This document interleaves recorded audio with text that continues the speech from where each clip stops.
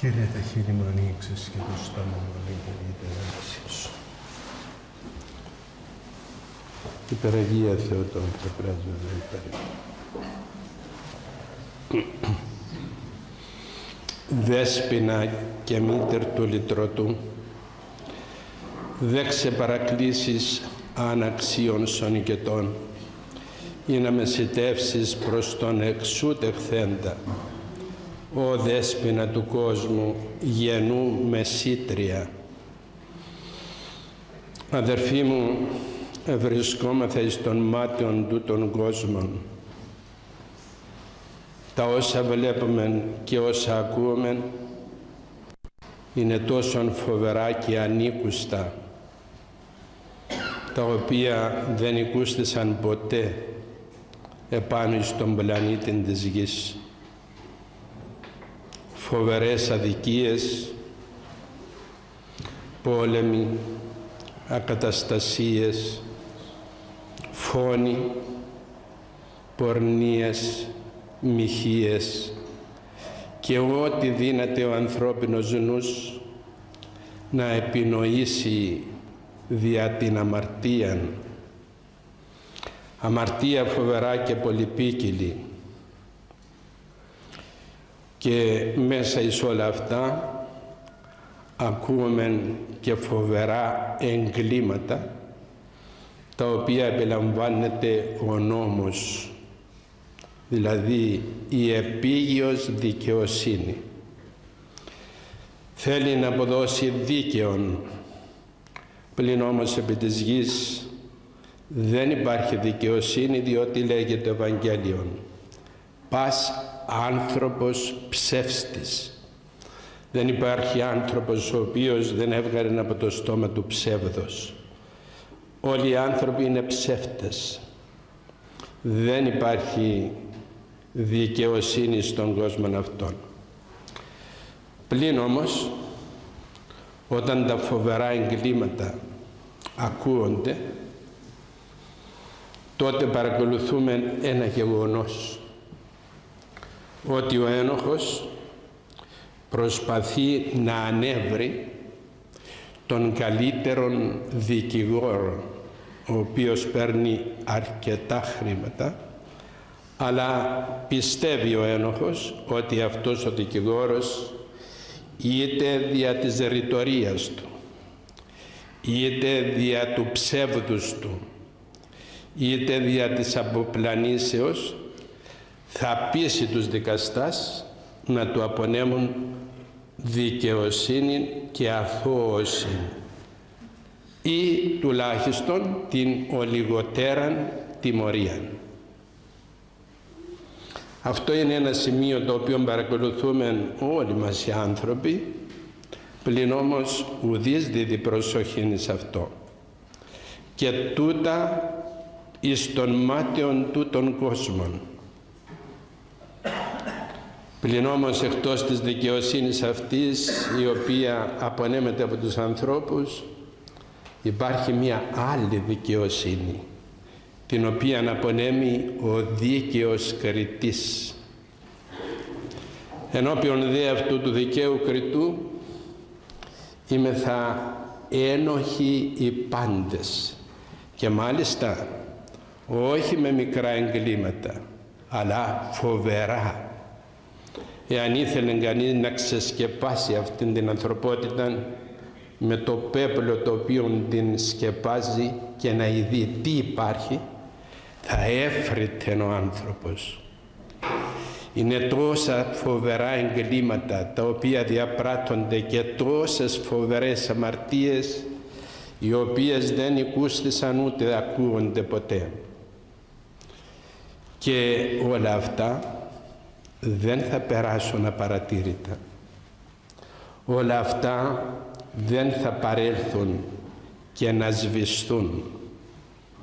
Θα δώσει έκαστος λέγει λόγων ενώπιον του Θεού και όχι μόνο διόσα έπραξεν αλλά και όσα διενοήθη όσα έβαλε στο μυαλό του δηλαδή αυτή τη στιγμή που μιλούμε ο καθένας από εμάς δουλεύει το μυαλό του Ο καθένας από εμάς γερνά πέριξ της ζωής του και παρακολουθεί γρήγορα γρήγορα ως ταινία το τι έπραξε.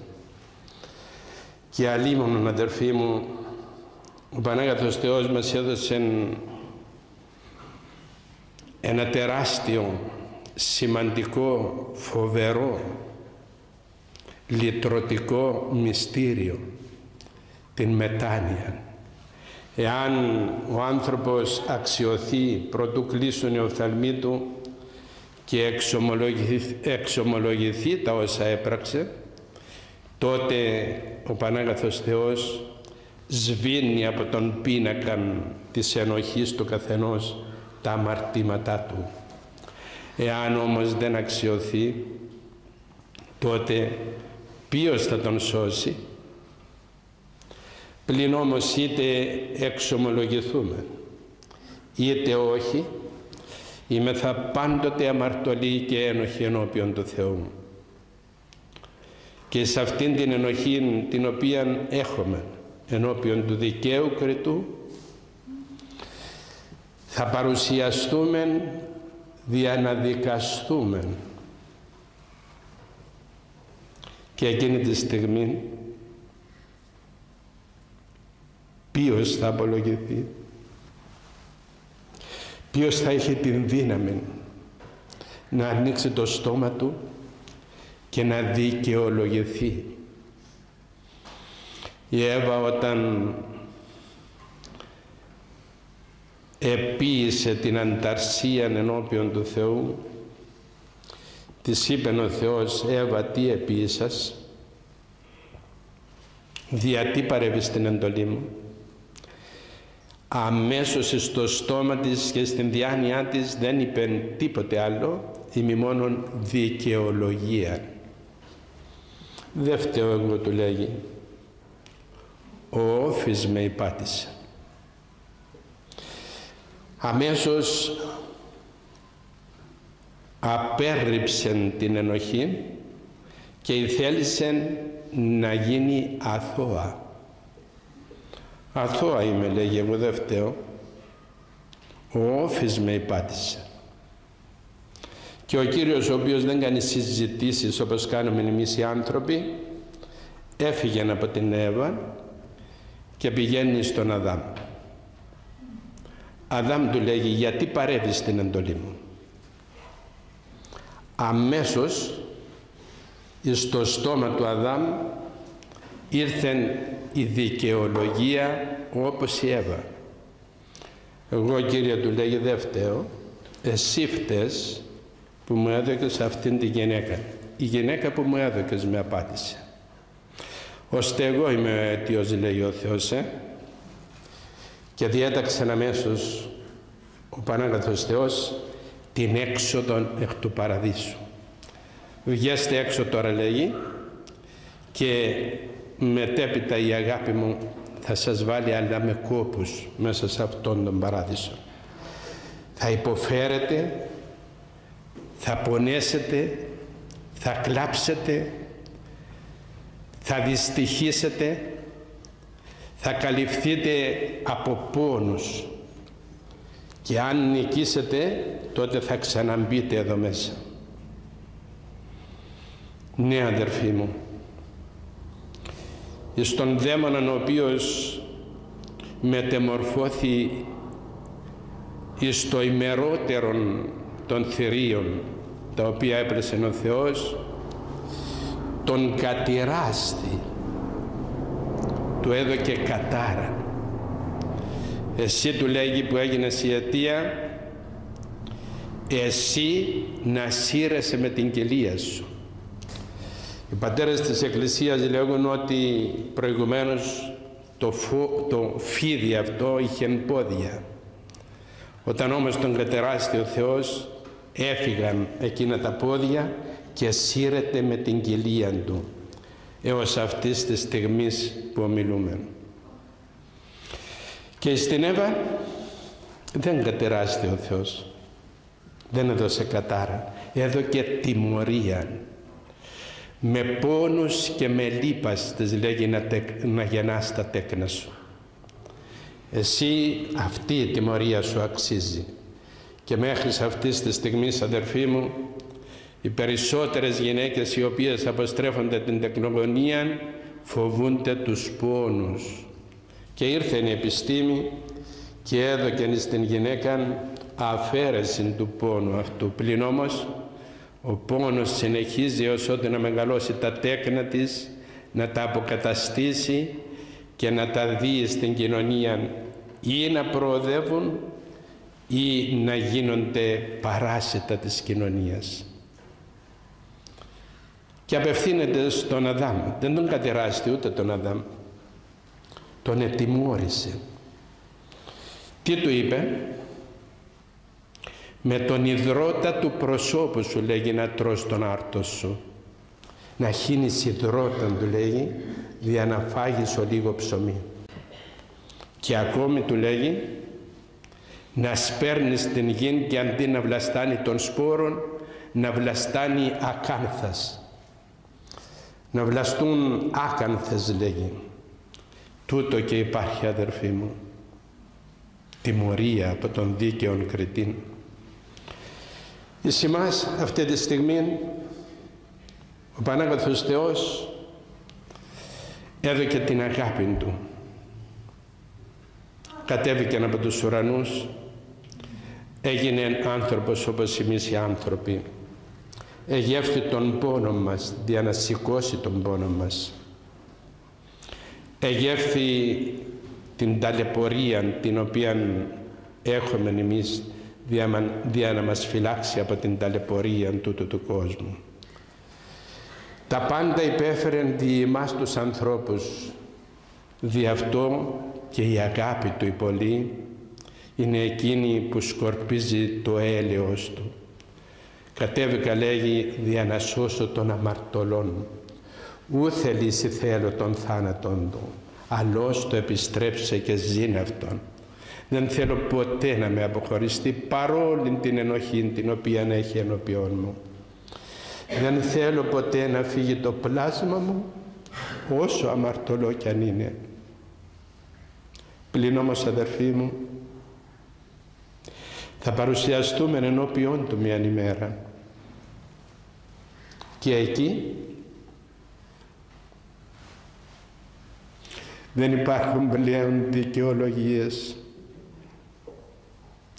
δεν υπάρχει κανείς από αυτούς τους μεγάλους δικηγόρους οι οποίοι σκορπίζουν την εξυπνάδα τους εις τούτον τον κόσμο να σταθεί κοντά μας. Δεν υπάρχει κανείς ο οποίος να του δώσουμε χρήματα, να του δώσουμε ό,τι ζητεί για να μεσητεύσει δι' εμάς εκείνη την ώρα. Και ο Ιερός Συμνοδός που απευθύνεται; Απευθύνεται στην μητέρα του Θεού. Δέσποινα και μήτερ του λυτρωτού. Δέξε παρακλήσεις σώνει και τον Παναγία μου λέει είσαι η μητέρα του λυτρωτού. Αυτός που ελύτρωσε τον άνθρωπο από την ενοχή Είσαι εσύ που είσαι η δέσποινα του ουρανού και της γης. Είσαι εσύ που είσαι η μητέρα μου, λέει ο Υιός, αλλά και σε έκανα μητέρα όλου του κόσμου. Και ο Ιερός Υμνοδός συνεχίζει και τι λέει; Ή να μεσητεύσεις προς τον εξού τεχθέντα. Δεν θέλουμε τίποτε άλλο Παναγία μας, μόνο να σε έχουμε δικηγόρον εκείνη την ώρα. Μη μου ελέγξεις τα πράξεις ενώπιον των ανθρώπων. Μη μου ανοίξεις τα βιβλία και μου αποκαλύψεις τι έπραξα εις αυτόν τον κόσμο. Παναγία μου, γίνουμε σύτρια. Μη μας αφήσεις μόνους μας, μη μας εγκαταλείψεις. γενού μεσήτρια, δικηγόρος δηλαδή, υπερασπιστής δηλαδή, ημών των αμαρτωλών. Μας εξίωσε η Παναγία μας και φτάσαμε στην τελευταία παράκλησή της. Και θα περιμένει κανείς και να λέγει τελειώσαμε μετά. Δεν υπάρχει τίποτε. Κάναμε το καθήκον μας. 15 μέρες παρακαλούσαμε την Παναγία μας. Και από εδώ και πέρα είμαι θα ελεύθερη. Δεν είναι ανάγκη να την κοιτάξουμε. Δεν είναι ανάγκη να νηστεύσουμε για την αγάπη της. Ελευθερωνόμεθα τώρα. Είμαι θα ελεύθερη. Εφόσον έκαναμε το καθήκον μας, από εκεί και πέρα, τι να κάνουμε άλλο; Και μένει κάπως ο άνθρωπος ελεύθερος από το τι πρέπει να πράξει στο μέλλον. Δεν είμαι θα όμως ελεύθερη αδερφοί μου. Είμαι θα ένοχη. Μην περάσει από το μυαλό μας ότι είμαι θα με παρησίαν ενώπιον του Ιού της. Δεν μπορούμε να τον ατενίσουμε. Δεν μπορούμε να υψώσουμε τους οφθαλμούς μας, να αντικρίσουμε το πρόσωπό Του. Δεν είναι αυτό που έκανε ο Τελώνης όταν εμπήκε μέσα στην εκκλησία στον ναό του Θεού έστριψε αμέσως σε μία γωνιά του ναού. Δεν προχώρησε τα βήματά του. Δεν ήρθε κοντά στα Άγια των Αγίων. Δεν ήρθε κοντά εκεί που χωρίζει ο ναός τους λαϊκούς από τους λειτουργούς. Αμέσως εκρύφτηκε σε μία γωνία. Και τι έκανε; Δεν είναι δύνατο λέγει ατενίσε τους οφθαλμούς εις των ουρανών δεν είχε τη δύναμη να ψηλώσει τα μάτια του να δει τον θρόνο του Θεού. Ο θρόνος του Θεού δεν είναι σε αυτόν τον κόσμο των βλάσφημων των εσχρών κόσμων ο θρόνος του Θεού είναι τόσο ψηλά τόσο πολύ ψηλά που δεν δύναται ο ανθρώπινος νους να κατανοήσει που ευρίσκεται ο θρόνος του Θεού. Μόνον ένα λέγει. Εκεί είναι ο θρόνος του Θεού. Ψηλώνει τα μάτια για να ειδεί που είναι ο θρόνος του Θεού. Ο Τελώνης κατανοούσε την ενοχή του, το βάρος της δικής του πράξεως τι είναι το τελώνης. Είναι το ένας ο οποίος ηγόραζε τους φόρους από τον Κέσσαρα της Ρώμης και τον εισέπρατεν από τους φορολογουμένους. Και αν είναι ο φόρος δέκα δραχμές, εκείνος εισέπρατεν εκατόν και δεν εφίδετο ούτε των ορφανών ούτε των χειρών, ούτε των πτωχών, ούτε των πονεμένων. Εισέπρατε δια της βίας αυτό το ποσό. Και όλος ο κόσμος τον εγνώριζε ότι ήταν άδικος. Πλην όμως το κατανοεί και ο ίδιος. Είμαι λέγει τόσον ένοχος. Είμαι τόσον βεβαρημένος ενώπιον του Θεού μου. Και άνοιγε το στόμα του συνεχώς και έλεγε ο Θεός ηλάστη τίμη το αμαρτωλό.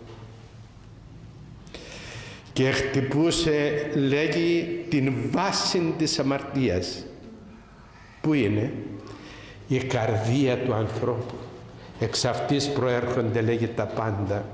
Οι διαλογισμοί οι πορνίες οι μοιχείες οι αδικίες τα πάντα προέρχονται από την καρδία εκεί χτυπούσε το χέρι του ο τελώνης και έλεγε ο Θεός ηλάστε τίμη το αμαρτωλό Αδερφοί μου, δεν τελείωσε ως εδώ η προσευχή μας στην Πανεγία μας.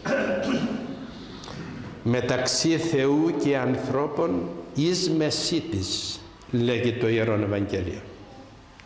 Ποιος είναι αυτός; Ο Χριστός.